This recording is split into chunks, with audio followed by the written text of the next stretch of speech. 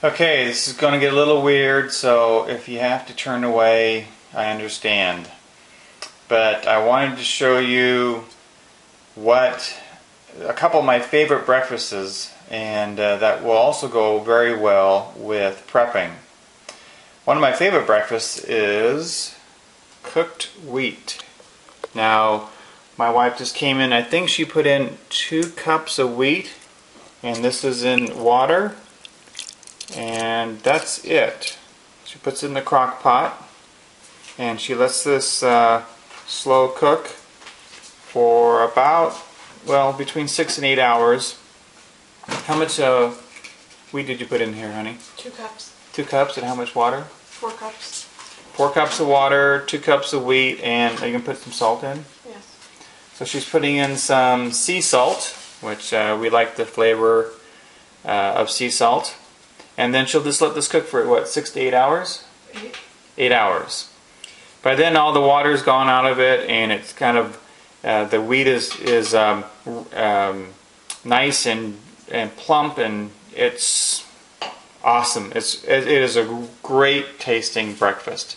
And then I'll put that in a bowl and usually have um, strawberries or some kind of fruit on it.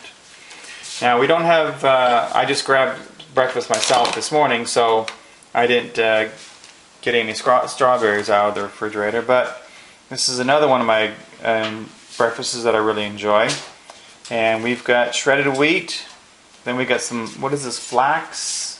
Flax and pumpkin seed granola. Flax and pumpkin, pumpkin seed granola.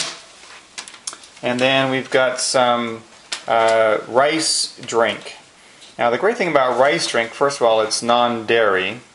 Um, I'm not a, uh, and this is what's going to be weird also, is I'm not a big um, animal uh, eater at all. I don't, you know, ice cream is an exception, but uh, I prefer non-dairy products, uh, non-beef products. But that's just me. And like I said, if it gets too weird, you can just have you just have to look away. But one good thing about this uh, rice drink is that it stores on the shelf for uh, like a year. And you don't have to reconstitute it. It's uh, great tasting. It's low calorie. Of course, doesn't have uh, the cholesterol and it's got zero saturated fats and all that other stuff. So I'm not going to go on, you know, uh, why I drink this, but I, I enjoy it. Uh, we do have powdered milk in our food storage. We bought that and I don't know, 15, 20, 30 years ago. And we, like I mentioned in other videos, we have some from other people that uh, gave it away. But uh, I'm a pretty simple um, breakfast eater. And my meals, uh, generally for dinner, we'll have um, a nice big uh, green garden salad.